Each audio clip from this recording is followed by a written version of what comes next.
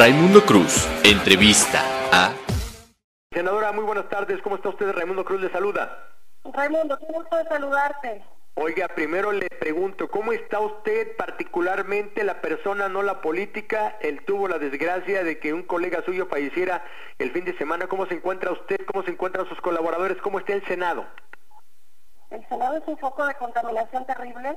Nos hicieron eh, una prueba el día de ayer, a mí me van a dar los resultados el día de hoy más tarde. Eh, lamentable la situación, en la sede de Ficotenca no contaba con las medidas para que trabajáramos y sesionáramos ese día y pues creo que todos los contagios que salgan a partir de Jicotencal son una muestra de la irresponsabilidad con la que se está haciendo trabajar a los legisladores y que no debe de ser esto ejemplo para que ningún patrón, para que ningún centro laboral eh, exponga a sus trabajadores en la manera en la que nos han expuesto a nosotros. Oiga, ¿ustedes son de las personas que tienen mayores condiciones laborales? Eh, eh, en el país, eh, independiente en, este, en el sistema privado, pública, aún así tuvieron este riesgo y vaya, murió un colega suyo, aunque no es de su partido, inclusive es del partido que, que está en el poder. Yo le pregunto, ¿qué es lo más duro, senadora? ¿El avasallamiento de la mayoría que tiene Morena y sus aliados? o, situaciones de este tipo, repito, aunque no es un eh, eh, eh, colega suyo de su partido, pero sí es un colega de profesión y creo que debe de doler pues de la misma manera. Duele igual, todos somos compañeros, independientemente, no, incluso tú te puedes llevar bien o mejor con personas que no son de tu grupo parlamentario, esto no, no tiene que ver con los grupos parlamentarios, son afinidades que se van construyendo con base pues en, en, las cosas en las que te toca trabajar en equipo, el mismo tiempo, a veces compartes comisiones, compartes este, puntos de vista, ¿no? Aquí se construyen amistades para toda la vida o enemistades también.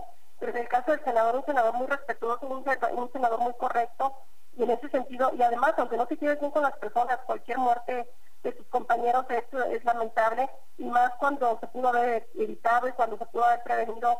No solamente él estaba con el COVID en la sesión, entonces no solamente se pudo haber evitado y prevenido su contagio de él, sino que él ese día, y lo vamos a ver con todos los que salgamos positivos el día de hoy, con todos los que salgan positivos el día de hoy, este, se va a ver si, pues, eh, ahí se produjo mayor contaminación derivado de la situación como se desarrolló la sesión, que es que no se guardó la distancia, demasiadas personas en un solo lugar y compartiendo los dispositivos de micrófono.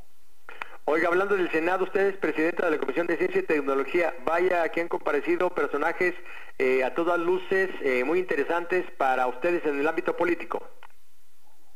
Muy, muy delicado el tema de la extinción de los fideicomisos en ciencia y tecnología. Sin duda que va a lastimar a la comunidad. Ellos lo saben, están muy molestos por la situación como se han venido desarrollando las cosas en el sector de ciencia y tecnología. Y por la verdad que se pone en riesgo el futuro de la investigación y la innovación en este país. Oiga, hablando de ciencia y tecnología, yo recuerdo que quien está gobernando Zacatecas hoy cuando fue senador era la comisión que presidía, igual que usted. En su estado viene en elecciones. ¿Cómo está la situación ahí en su estado, senadora? Pues ya, ya preparándose la gente para la, para la elección del 21. Estamos en espera de que los partidos saquen las convocatorias para tomar las decisiones a los registros. Y lo más importante es que se lleve a cabo un proceso con respeto a la legalidad, con respeto a los tiempos y sobre todo respeto entre los participantes para que se le dé a la ciudadanía la mejor oferta política. Oiga, a Claudia Edida Naya Mota, ¿qué le llama más la atención, la gubernatura o la senaduría?